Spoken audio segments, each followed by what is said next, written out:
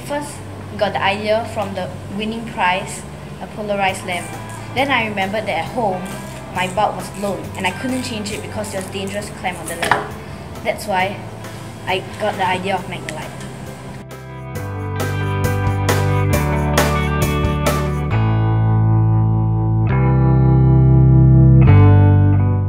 We used a lot of materials from the Inventor's Toolkit, such as the use of duct tape and reflective stickers, in which it helps the user on how to place our product.